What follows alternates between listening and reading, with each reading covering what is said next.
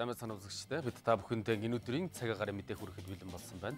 Үзэгч та бүхэн дэлгэсэндээ анхаарлаа хандуулно. Баруун бүсийн цаг агаарын мэдээллийг бүгдээрээ дөрүүлээд харцгаая. Баян хөлгийн аймагт өдөртөө 11 градус сүүтэн, Увс аймагт 13 градус сүүтэн байна. Цавхан аймагт 16 градус сүүтэн байхул Ховд аймагт өдөртөө 9 градусын хүйттэй байна. Харин Говьолтой аймагт 12 градусын хүйтэнтэй байна. Төвийн бүсийн цаг агаарын мэдээлэл Өвсгөл аймагт өдөртөө 13 градус хүйтэн, Сэлэнг, Булан аймагуудад мөн адил 13 градусын хүйтэнтэй байна. Харин Дархуул аймагт 14 градус хүйтэн байгуул Орхон аймагт 12 градусын хүйтэнтэй байна.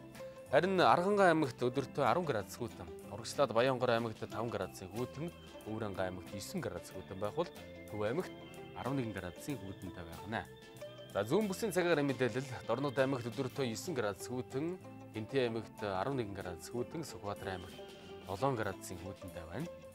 Үргэлжлээд Говьсөмбөр аймагт өдөртөө 7 градус хүйтэн, Дундгой аймагт 6 градус хүйтэн, Дорногой аймагт 2 градус хүйтэн байна. Харин Өмнөгов аймагт 3 градусын хүйтэнтэй байна. Ингээд одоо та бүхэн нийт нутгаар цагаараа мэдээлэлтэй анхаарлаа хандуул.